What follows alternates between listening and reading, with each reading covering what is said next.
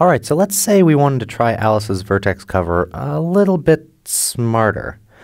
So let's look at Alice's vertex cover. The main thing that happens, the key idea, is that we're go just going to try every single possible assignment of a cover to the underlying graph. So for let's say for let's say that graph, we might try this, this, and this. Or we might try this, this, and this. Or just this. Or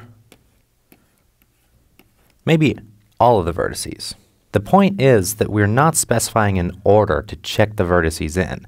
We're just saying check every single one. What if we did though?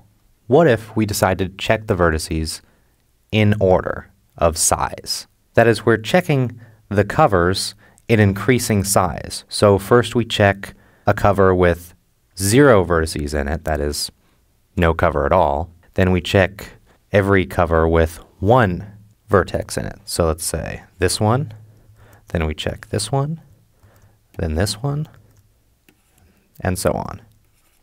And after we're done with that, then we do every vertex cover with two vertices in it. So this and this and this and so on.